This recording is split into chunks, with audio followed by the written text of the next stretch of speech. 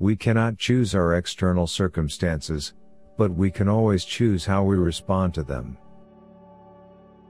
Don't explain your philosophy. Embody it.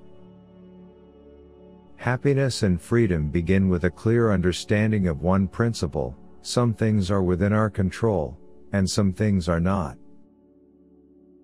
First say to yourself what you would be, and then do what you have to do. There is only one way to happiness and that is to cease worrying about things which are beyond the power of our will. Keep silence for the most part, and speak only when you must, and then briefly. If you wish to be a writer, write. No man is free who is not master of himself. No great thing is created suddenly. It's not what happens to you, but how you react to it that matters. If anyone is unhappy, remember that his unhappiness is his own fault.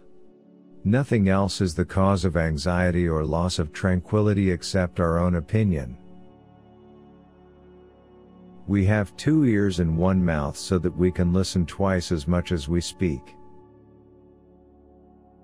The world turns aside to let any man pass who knows where he is going. Wealth consists not in having great possessions, but in having few wants. If you want to improve, be content to be thought foolish and stupid. Man is not worried by real problems so much as by his imagined anxieties about real problems. When you are offended at any man's fault, turn to yourself and study your own failings. Then you will forget your anger.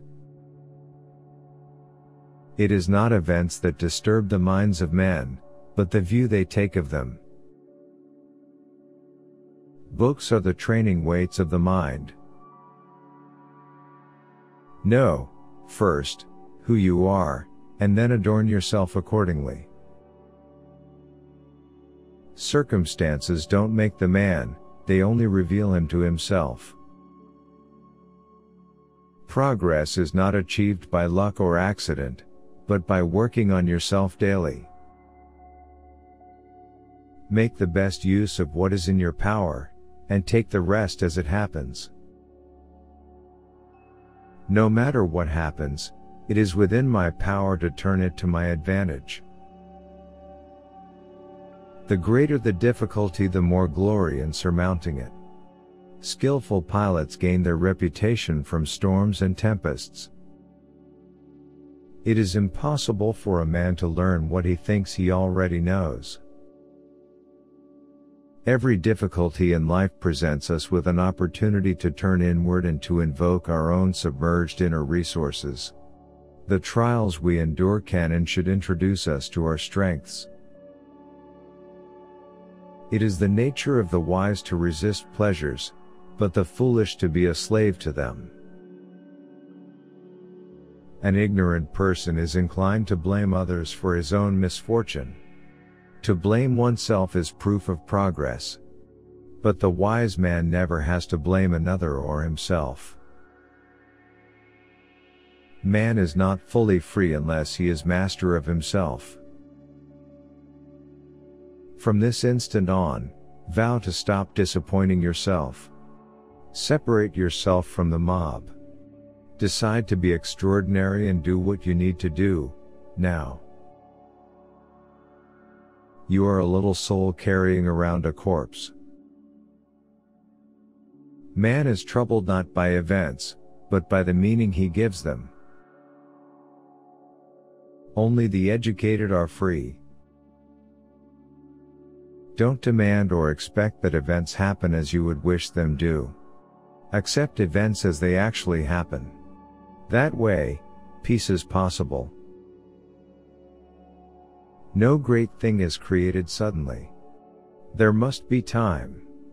Give your best and always be kind.